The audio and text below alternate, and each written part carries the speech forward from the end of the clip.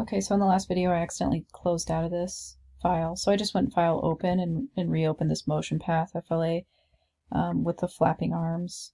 So we can actually, I was supposed to hit this. So let's hit that. I, I ended up kind of messing around with my um, path, but really um, when you scrub through the timeline, it's not going to look like uh, he's his arms are flapping, but actually if you do a modify or control test, it'll show you with him actually flapping his hands. So it's a little bit, when you have a nested animation, um, it won't always show up when you scrub with the timeline, but it'll show up when you do a um, control test. As you can see, you can see his arms moving in this one. So, okay, so we're going to actually move on to back to the original file that we were working on. So we can just close out of this, uh, maybe just do a file save to be um, sure, and then we can just close out. So the book starts to talk about easing, and this refers to the way in which a motion tween proceeds. Um, and it's kind of like acceleration or deceleration. Um, so an object that moves from one side of the stage to the other can start off slowly, and then build up speed, and then stop suddenly. Or the object can start quickly and then gradually slow to a halt. So you can control that with Adobe Animate. Um, if your keyframes, they actually indicate the beginning and end of the motion, but the easing determines how your objects gets from one keyframe to the next. Um, so a simple way to apply easing to a motion tween is to use the properties panel. Um, we've used this before.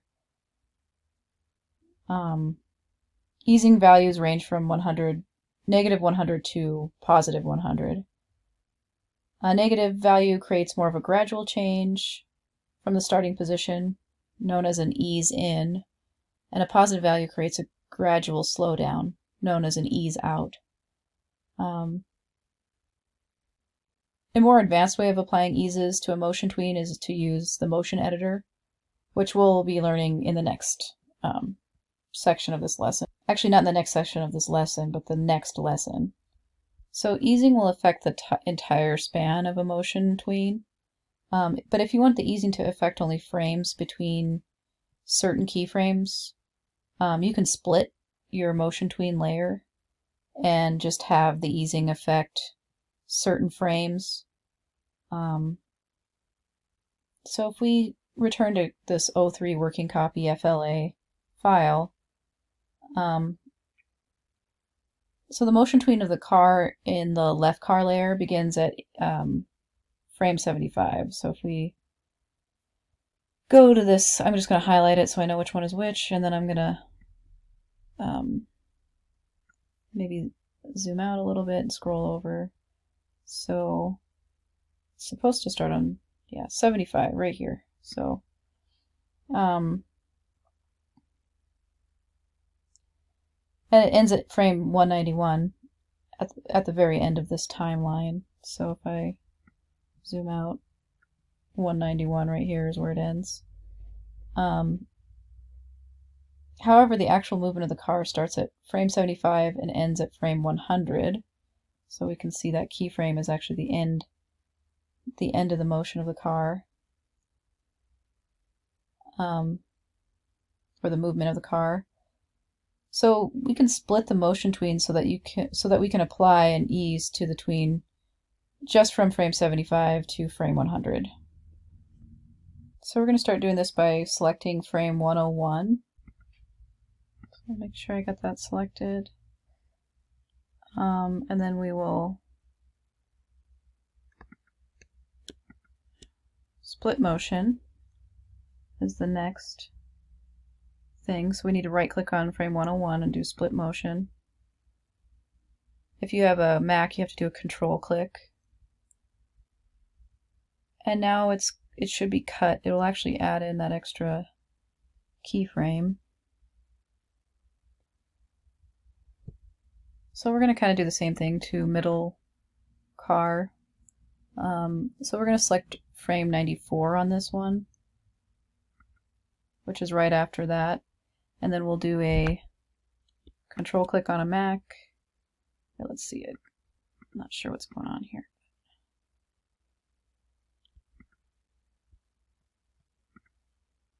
Here, let me zoom in a little bit.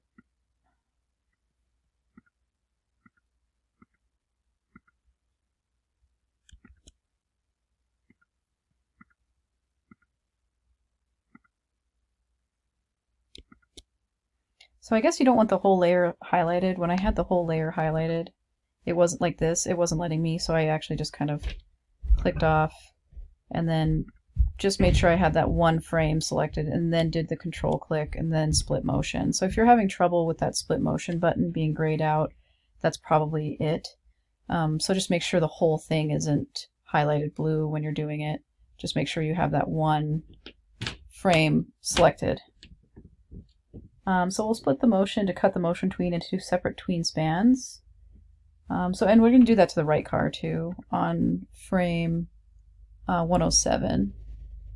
So as you can see, this is all blue, but we, I don't want that. So I guess I'll just kind of, maybe I'll click up here and then I'll just find frame 90, or let's see, 107.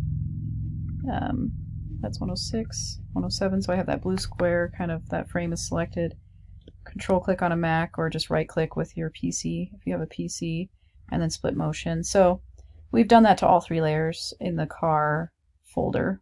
So this is where we're going to apply it ease in to the motion tweens of the approaching cars to give them a sense of weight to make them decelerate as real cars would. So in the middle car layer right here, I'm just going to highlight that. Um, we want to select basically any frame between the first and second keyframes of the first motion tween, which would be 70 to um, 93, basically. So anywhere in there. Um, it kind of looks like in the book they're selecting somewhere around 86. So I think I might just make sure I just have that one frame selected. Sorry, I just got a call on my phone. Um, let's see here. And in the ease in section of the properties found panel, um, where that is,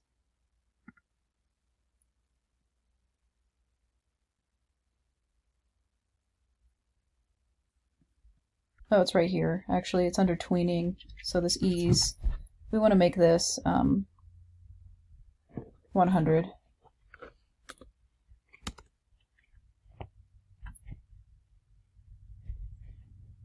And this will apply um, an ease out to the motion tween. And yeah, I guess this is the ease section right here, right under tweening um, of the properties panel. It's under frame. So moving on to the left car layer, um, we could select any frame between the first and second keyframes of the first motion tween, so 75 to 100 basically. Um, here in this, it looks like maybe they're doing, I guess it doesn't really matter. I think I'll just go with like this. And then we're going to go into that properties panel again and change this once again to 100 and then push enter in the ease section. So we did the middle, the left car, and now we're going to do the right car layer. So here's the right car layer. We'll select any frame from 78 to 106. So we got, so I guess I'll do it right here maybe. Click off, so I just am doing one little bit there, and then we'll make that 100 as well. And return. Um, so I think anything in the positive is easing out, anything in the negative is easing in as far as this value is concerned. So the book now wants us to um, select the loop at the top of the timeline. Um, and then I think we can do like frame 60 um, frame 60 to, let's see, 115 respectively. I guess uh, you can also just play it like this. I mean, if you move your, if you scrub your thing through, you know, you can examine the easing of the cars as they come in. Um, that did change it a little bit. So we're actually going to do a little bit with frame by frame animation, and it's basically a technique that creates the illusion of movement by making incremental changes between every keyframe. Frame by frame animation is an animate is similar to tra traditional hand drawn um, animation, where each drawing is on a separate piece of paper, and it's a fairly tedious process. Um, and frame by frame animations within Animate will increase your file size very rapidly uh, because content has to store the contents for each keyframe. So you're supposed to use frame by frame animation really sparingly within Animate for that reason. And so I think in the next video we'll begin um, inserting a frame by frame animation inside the left car movie clip symbol to make it move up and down in a jittery fashion, which will kind of simulate the idle of the motor of the car. Um, I'm not going to do that in this video. We'll start that in the next